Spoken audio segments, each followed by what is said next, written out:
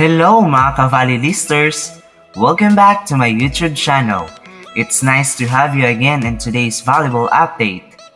But before that, make sure that you click the subscribe button and the notification bell para lagi kayong updated for my upcoming valuable updates and valuable highlights videos.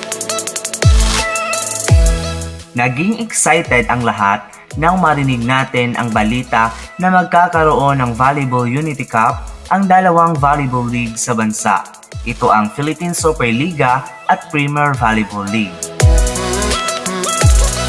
Ngunit, nito lang November 17, ayon sa isang news article, ang inaasam-asam nating Unity Cup ay malabo nang mangyari. I don't think it is going to happen. Ito ang pahayag ng PVL President na si Ricky Palo sa isang online forum. Matapos inanunsyo ng PVL ang pagiging pro league nito, naging dahilan ito kung bakit hindi matutuloy ang Unity Cup dahil ang PSL ay nanatiling collegiate or semi-pro in status. For sure, marami ang malulungkot sa balitang ito opportunity na sana naging bato pa.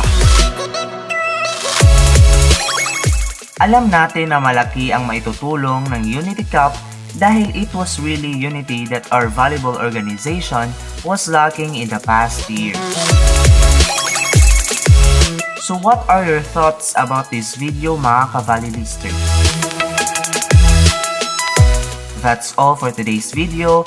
Again, subscribe for more volleyball updates and highlights. Hanggang sa muli mga kavalilisters,